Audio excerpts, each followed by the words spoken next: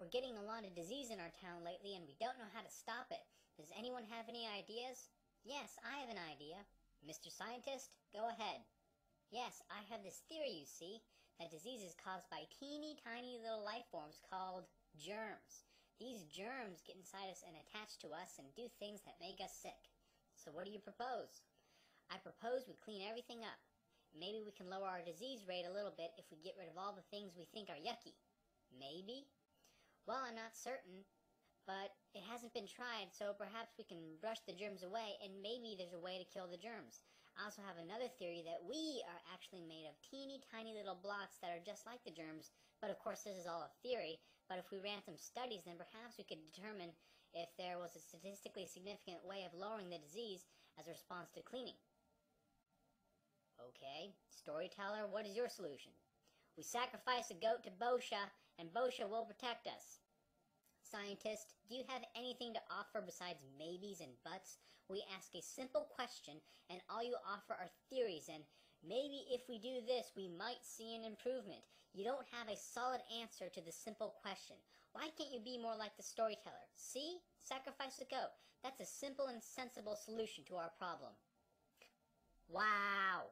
Just wow! Scientist is shit talk as usual. As for your first statement, it hasn't been tried.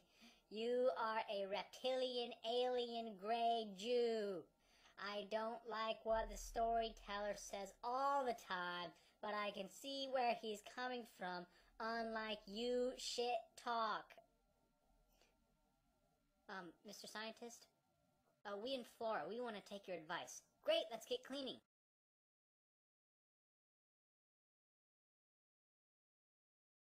After cleaning, disease actually went up in Flora. Wait, no. No, no, no, no, no. It couldn't go up. We, we got rid of all the germs. It, it must be a statistical fluke. Cleaning out the germs couldn't make more disease. This is impossible. We didn't sacrifice a goat to Bosha, and Bosha's got mad. Now he's punishing us. I believed in you, man. I believed that cleaning would make us healthier. And now look at what happened.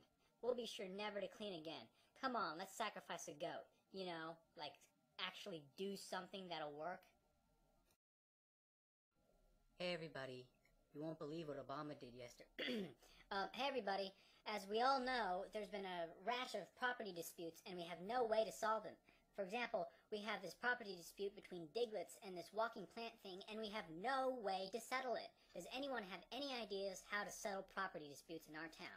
I have an idea. Mr. Scientist, go ahead. Okay, I propose we all get into a series of contracts and make deals about how to settle property disputes. And whatever way proves to be the best is what every way will gravitate to.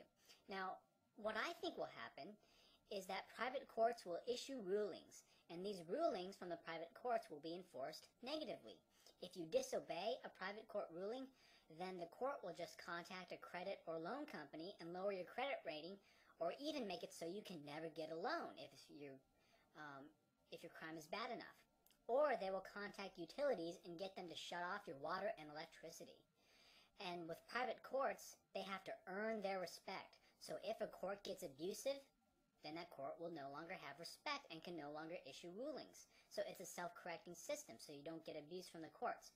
And perhaps courts will even contact a defense agency to execute people if they do things like rape or murder. But this is all just my theory. And again, if they execute too many people, then the court gets no respect and will no longer be used. And so it's self-correcting. And this is just a theory. Well, I can't predict what the absolute best way will be, and there's a bunch of ways to solve this solve this problem, and you know, we just need to try it out. We just need to see what works. We just need to we just need to test things. Okay? It's the scientific method. So you can't predict uh, and it's maybe and all these maybes, just a theory. Hmm, storyteller, what's your solution? We give a bunch of people a bunch of guns and have them tell us how to solve the problem. If anyone doesn't obey, we throw them in prison, and if they resist that, we shoot them. Scientists, do you have anything to offer besides maybes and buts? We ask you a simple question, and all you offer are theories, and maybe private courts will work this way. You don't have a solid answer to the simple question of property disputes. Property disputes. This is level one stuff, scientist. why can't you be more like the storyteller? See? Give a bunch of people a bun- bunch of guns. That is a sensible solution to our problem. Wow. Just wow. Scientist is shit talk as usual. Oh, look, the state is collapsing. Now we can finally see this anarchy in action. The state controlled all the roads and forced people to pay for them. What? With no state, these roads all go to hell.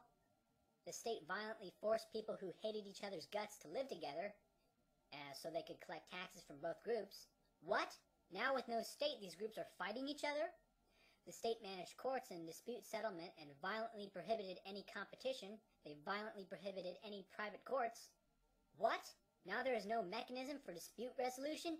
That's it. The chaos that comes from a collapsed state is proof that you need a state. Because when a state monopolizes something, then it collapses, that thing that it monopolized is no longer provided. That's all the evidence that I need that we need a state. What? No! These people had no time to prepare for anarchy. To say anarchy can't work because a collapsed state is chaotic is like saying humans can't farm because a janitor stranded in a field doesn't know how to farm. In fact, the chaos in a collapsed state is caused by the state having violently prevented anyone else from doing those things. So when the state collapses, those things can no longer be done. I believed in you, man, and now look what happened. The state collapsed and it's just terrible. We'll be sure to never let people interact without violent coercion again. Come on, let's sacrifice a goat. I mean, go vote. You know, like actually do something that'll work.